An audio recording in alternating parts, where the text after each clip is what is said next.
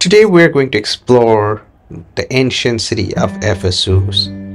Ephesus is located at the modern day Turkey. It is a very old city. People have been living in this area surrounding Ephesus 8000 years ago in Neolithic age.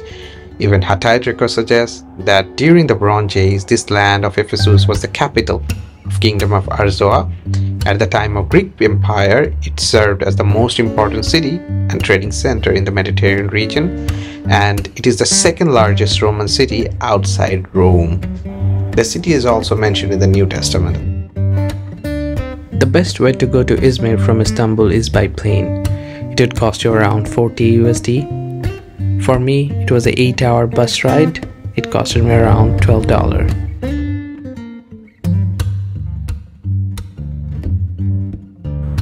From bus station, you have to go to the train station and you have to take the train that takes you to Selçuk.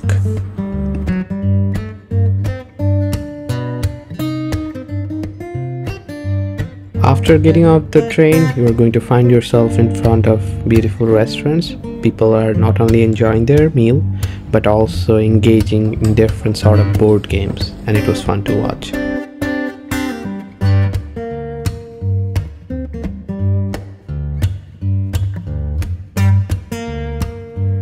From Selçuk bus station, you have to take the bus that takes you to the Ephesus.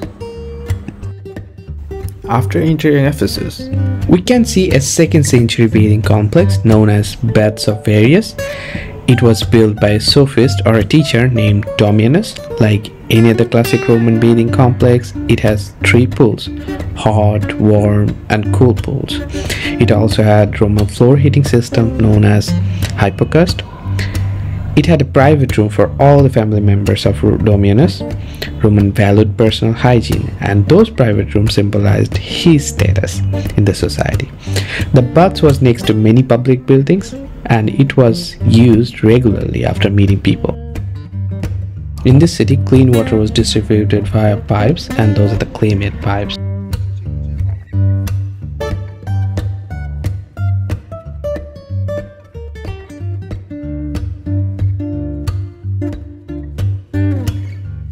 We can see the state agora or political agora.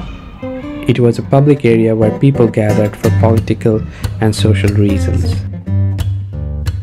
This place is known as Basilica. Roman magistrates used to judge cases and solve disagreement between tradesmen here. Basilica was also providing gathering opportunity for people. Behind Basilica, there was an Odeon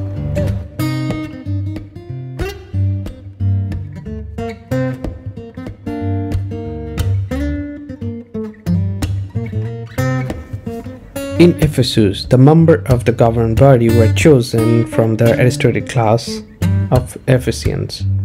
The group held all the political, executive, religious, and judicial power. They would have overseen the construction of all public structures in the city, including temples, theaters, and baths. They would have also been in charge of collecting taxes and control over running public buildings and you can see the Odeon. It is used as a parliament. It has also been used as for concerts. It has a capacity of 1500 people. The seats in the lower section were reserved for important people. These seats are wider than the upper ones. Among the upper seats, there are circle gaps for the latecomers.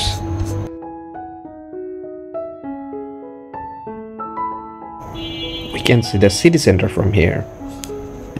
At its peak, Ephesus was the second largest Roman city, and a quarter of a million people used to live here.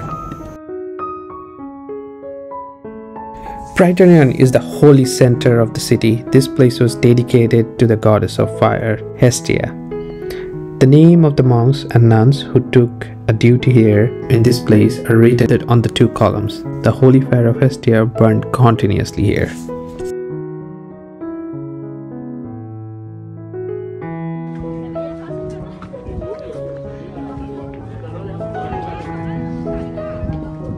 During 87 BC, Mithridates of the Pontic Empire staged a revolt in the city, claiming that the taxes under Roman rule were too high and Asia was for Asiatic. He and his army killed 80,000 Romans before taking the city from the Roman rule and occupying it for three years. Roman army led by Sulla conquered Mithridates and brought the city's security back to the empire. This monument represents that story.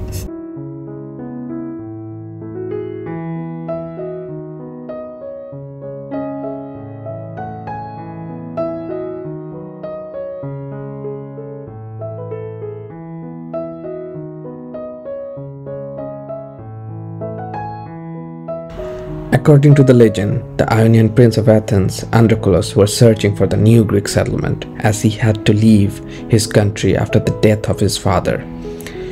He turned to the Delphi oracle for the guidance, and the oracle told him a boar and a fish would show him the new location. One day, Androclus was frying fish over an open fire. A fish flopped out of the frying pan and landed in the nearby bushes, and a spark ignited the bushes, and a wild boar ran out. Recalling the oracle's wisdom, he built his new settlement where the bushes stood and called it Ephesus. After that, Ionian, Persian, Roman Goths ruled this land between 1200 BCE to 400 CE. Over the span of time, many important people walked through this road. Just to name few, Alexander Great, Marcus Aurelius, St. John, Cleopatra, and Virgin Mary.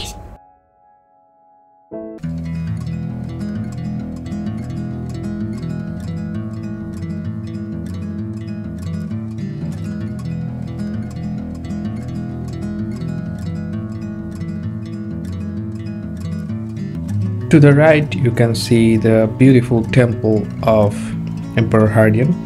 It is a neokoros temple of official worship of Roman Emperor. The permission to build such a temple in Ephesus was granted by the Hadrian himself. If we take the right turn, we're going to reach to the public toilet and the brothel of Ephesus.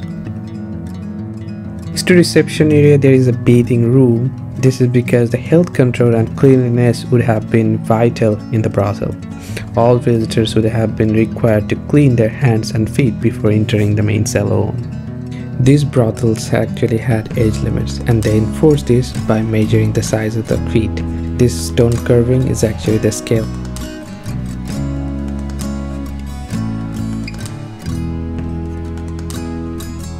At the end of the street, we can see the iconic building of Ephesus, the Library of Celsus. After seeing this beautiful library, Egyptians became so jealous that they stopped exporting papyrus to Romans and that motivated Romans to create modern day papers. It is one of the only remaining example of a library from the Roman Empire.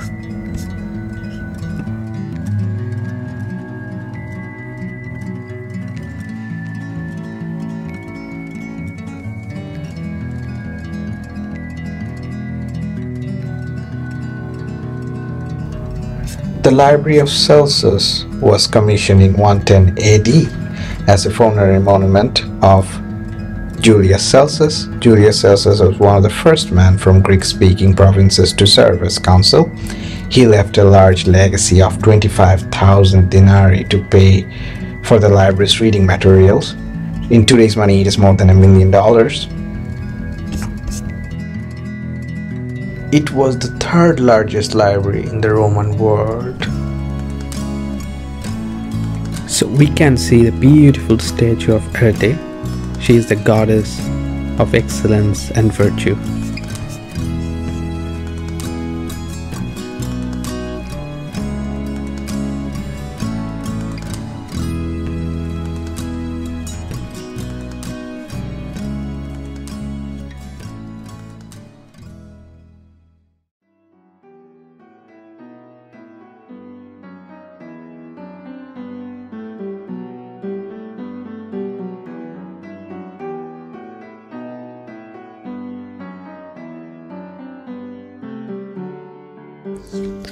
Mazaeus and Mithridates built this gate in 40 AD to honor the Emperor Augustus, who gave them their freedom and sent them to Ephesus to serve as officers in charge of maintaining the properties belonging to the Roman Empire.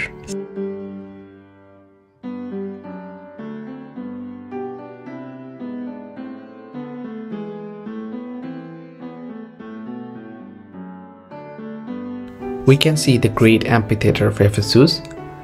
This structure was built out of marble. In its heyday, it could accommodate up to 24,000 spectators. Emperor Claudius, Emperor Nero contributed to this amphitheater, and Emperor Trajan finished the construction. According to New Testament, Saint Paul had tried to enter this theater, but his companion did not let Saint Paul enter it is said that the statue maker thought the presence of him and his new religion is going to be bad for their business, so they started riot against him. Later, he had to leave this city.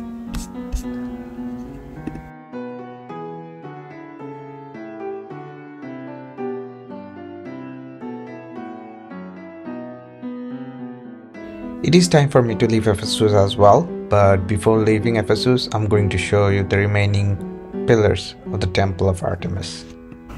In 3rd century BC, a crazy man burned down the temple of Artemis. After revealing the size of the temple becomes four times larger than the Parthenon and become known as one of the seven wonders of the world and the largest building of the ancient world. The Greek goddess Artemis, who later became Diana in Roman mythology, and the great Anatolian goddess Cybele were identified together in the beautiful statue of Lady of Ephesus in the temple of Artemis.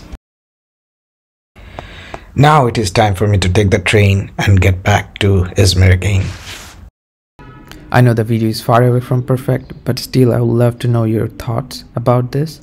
Please let me know in the comment. Please subscribe, please like and support.